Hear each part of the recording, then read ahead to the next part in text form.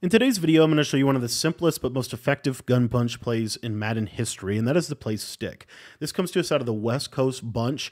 If you guys want to get my entire West Coast offensive ebook, make sure that you join the Patreon. It's only $10 to become a member, and it will help you become a better Madden player because you're not only going to get access to just the bunch ebook, you get access to all of our offensive and defensive ebooks for Madden 24, as well as all of the updates to those ebooks and anything new that we drop while you are a member. Again, if you want to sign up, the link's going to be down below, but let's talk about the play stick out of the gun bunch formation. Now, what makes this play so good is this unique corner route to the right hand side of the screen. All we're going to do to set this up is we're just going to streak our uh, slot receiver and then we're going to try to snap the ball as fast as we possibly can. And what you're going to notice about this stick corner route is that it's going to do a really, really good job at being able to beat man to man coverage. The default alignment that most defenses are going to have is they're going to press the slot receiver, they're going to not press the tight end, and they're not going to press your outside bunch receiver. So they're going to have to actually make an adjustment to do that. And as you can see, I mean, this is just an absolute laser if they don't do that adjustment. Now, let's say that they go ahead and they do press this outside corner, then I'm going to actually use a different route combination. The route combination that I'm going to use is I'm going to put the slot receiver on a corner route. I'm going to put the tight end on a streak, and I'm going to drag the backside receiver. The purpose for this uh, adjustment is because this is going to allow us to be able to uh, have a little bit more success against press man to man. You see, we're going to get kind of a natural pick, natural rub, and that corner route is going to get over the top uh, of a of a cover one style of defense. So if they are running any kind of press man, this is a great way to attack it.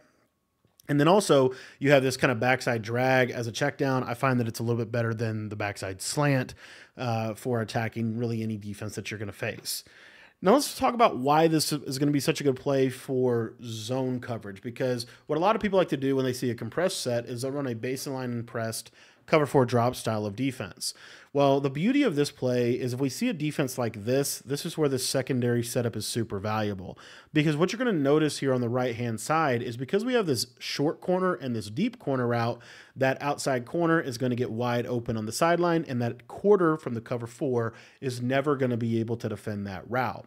So, what they're going to have to do is they're going to have to start changing up what they're doing. Maybe they go to a cover three, maybe they go to a cover uh, two, maybe they go to a cover three cloud, a lot of different options. But if they go cover three or cover four here, you're going to notice that this stick, uh, this this um, shorter corner route is going to do a really good job of being able to attack this defense. Now, if you do get a baseline curl flat, that's actually a decent adjustment um, and can kind of muddy this up. But typically, this is going to get open to the sideline. It's got to be kind of patient with the route. So, what are they going to have to do to stop this short corner route? This is where we're going to kind of get into uh, some, you know, different types of adjustments. But the main thing that they're going to have to do to stop this corner route is they're going to have to put a cloud flat over there on the right hand side. Now, this cloud flat needs to be pressed, or at least it needs to not be dropped back to 30 yards. If they drop that cloud flat back to 30 yards, it'll get too much depth and it won't be able to properly cover that short corner. What that's going to mean, though, is now our deeper corner route is going to be wide open against the cover four or the cover two coverage because the tight end streak is going to pull the deep half uh, away from the sideline, and then of course that short corner is being taken by that that uh, pressed cloud.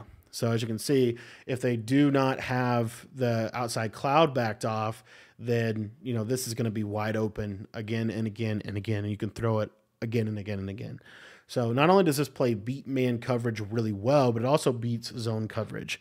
Now, if you were to, let's say you don't have slot apprentice and you were to run this against cover four, cover three, and just use the, the first setup with the streak, what you're going to find is this will still be pretty good. I will say that um, I think in this year's game with deep out zone knockouts, and with outside quarters baseline pressed, it can be a little bit more difficult uh, than using the two corner routes. But in general, if you just streak the slot receiver, you're going to find a lot of success with this play because the short corner route just kind of gets in this soft pocket that most uh, corner routes just don't really attack. And so it's what makes this play so good. And all the while, it's also one of the best man beating corners in the game.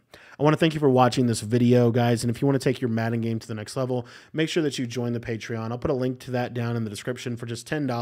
You're going to be able to get access to all of our offensive and defensive ebooks, including all of the updates to those ebooks and anything new that we release while your membership is active. So thank you guys for watching this video, and we hope to see you guys over at the Patreon page.